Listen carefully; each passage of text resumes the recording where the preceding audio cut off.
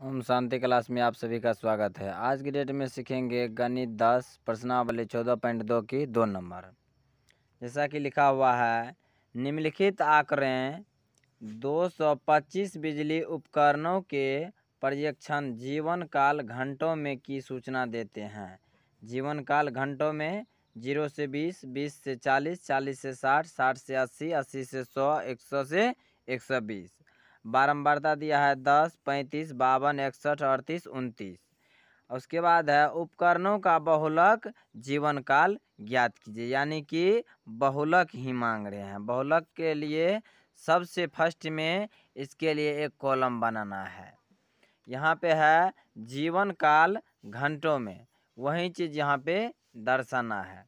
जीवन काल घंटों में जो है इसका एक कॉलम बनाएँगे। जीवन काल घंटों में। घंटों में है। इसके बाद एक ठो कॉलम बनाएँगे। ये बारंबारता है। बारंबारता ही इसमें लिखना है। बारंबारता। अब जिस तरह से जीवन काल घंटों में यहाँ पे है, वही चीज़ यहाँ पे लिखना है। ज़ीरो से बीस है तो यहाँ पर भी लिखना है। ज़ीरो से बीस, उसके बाद है बीस से चालीस, यानी कि अंतराल लिया है बीस बीस की। बीस से चालीस चालीस से साठ, चालीस से लिया है साठ। उसके बाद है, उसके बाद साठ से अस्सी, साठ से अस्सी। उसके बाद है, इसके बाद दिया है अस्सी से एक सौ। अस्सी से एक सौ। लास्ट में है एक सौ से एक सौ बीस। एक सौ से एक सौ बीस तक ही लिया है। यहीं तक जो है ये कॉलम हमको बनाना है। ठीक ना? अब जो इस तरह का एक कॉलम बना लिए। इस तरह से सब में दे देना है ताकि समझने में दिक्कत ना हो। ये बारंबारता यहाँ पे है, जो चीज़ यहाँ पे लिखा हुआ है, वहीं सेम चीज़ यहाँ पे लिखना है। जैसा कि दस है तो दस लिखेंगे। दस के बाद पैंतीस है तो पैंतीस लिखेंगे। पैंतीस के बाद बावन है तो बावन लिखेंगे। बावन के बाद इकसठ है तो इकसठ देना है। इकसठ के बाद अड़तीस है तो अड़तीस देना है। अड़तीस के बाद उनतीस है वहीं उनतीस यहाँ पे देना है। अब इसमें मांग रहे हैं बहुलक। तो बहुलक के लिए सबसे मेन चीज़ समझने का ये चीज़ है, यहाँ पर जो बारंबारता लिखे हैं, इसमें सबसे बड़ी अंक कौन सा है? जैसा कि इसमें से सबसे बड़ी अंक, यहाँ पे दस है, पैंतीस है, बावन है, इकसठ है, अड़तीस है, उनतीस है। इसमें सबसे बड़ी अंक कौन सा है? इकसठ है। इकसठ के नीचे में जो है, एक ठो इस तरह से लिकीर खींच लेना है। समझ गए?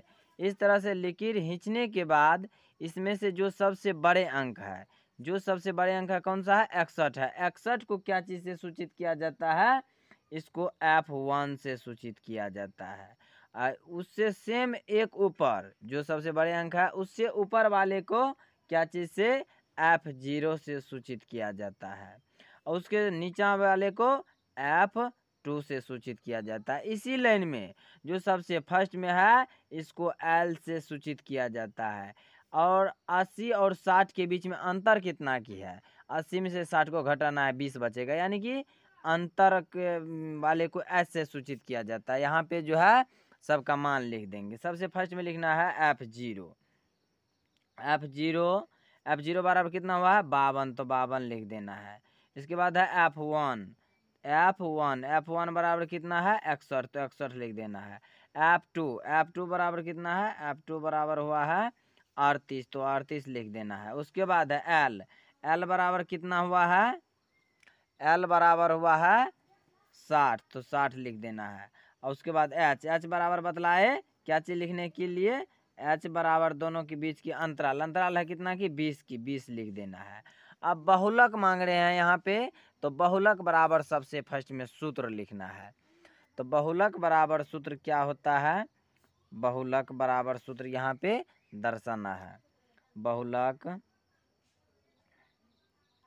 बहुलक बराबर सूत्र होता है L plus F one minus F zero बटे two F one minus F zero minus F two into H यही होता है बहुलक बराबर सूत्र।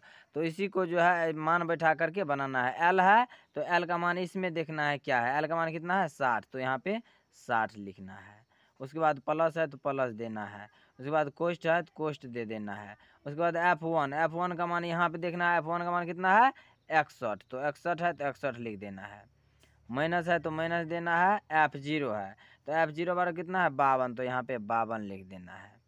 फिर बटे में है तो बटे दे देना है। दो है तो दो लिख देना है। यहाँ कुछ होना है तो मल्टीप्लाई यानी गुना का चिन्ह है। एफ़ वन एफ़ वन का मान देखना है। एफ़ वन का मान कितना है? इकसठ। तो इकसठ लिख देना है। माइनस है तो माइनस दे देना है एफ़ ज़ीरो एफ़ ज़ीरो का मान कितना है? बावन। तो बावन लिख देना है।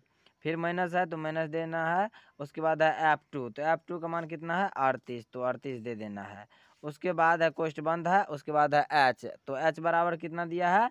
बीस है। तो यहाँ पे बीस लिख देना है। अब जो है ये साठ का साठ ही होगा। प्लस का प्लस। अब इकसठ में से बावन को घटाना है।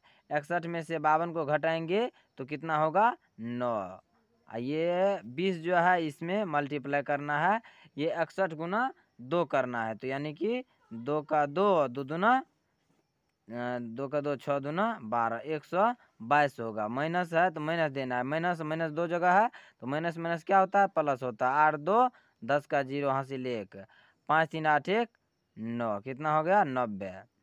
तो ये साठ का साठ प्लस है तो प्लस देना है। ये एक सौ बाईस में से नब्बे को घटा देना है। एक सौ बाईस में से नब्बे घटाने पर, एक सौ बाईस में से नब्बे घटाने पर हो जाता है बत्तीस। तो कितना? यहाँ पे लिख देना है बत्तीस। ये नौ गुना बीस करना है।